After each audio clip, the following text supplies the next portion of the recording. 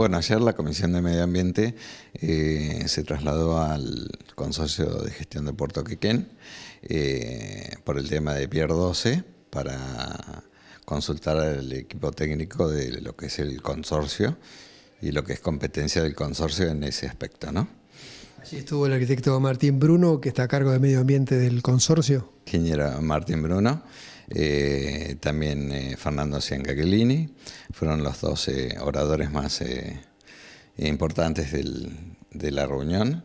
Y, realmente, bueno, nos dieron explicaciones de, más que explicaciones, información de, bueno, de todos los temas que nos preocupan a todos, a los vecinos, a los concejales, a los ambientalistas, a todos. Eh, temas, por ejemplo, como movimientos de suelo, eh, una preocupación también el, caño que pasa por debajo, que es de centrales de la costa, eh, si había o no había materiales de residuos peligrosos en ese, en ese predio.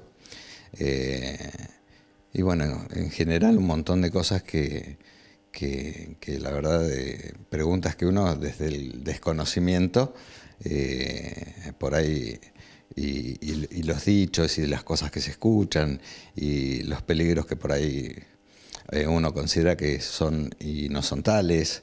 Eh, la verdad que fue muy fructífera para nosotros esa reunión. ¿Quedaron dudas de algunos temas? ¿Fueron precisas las explicaciones? No, la verdad que fueron muy precisas. en lo personal yo quedé muy conforme.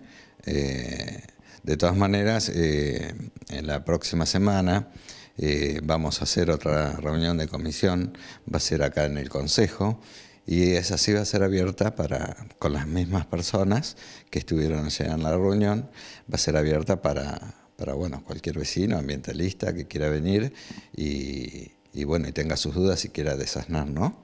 De acuerdo con lo que se ha señalado, entonces no habría ninguna contravención ni se incumpliría con ninguna norma. No, aparentemente no. Ellos están eh, ajustándose a todo lo que eh, la OPS y los organismos como eh, el RENAR, bueno, creo que tiene otro nombre ahora,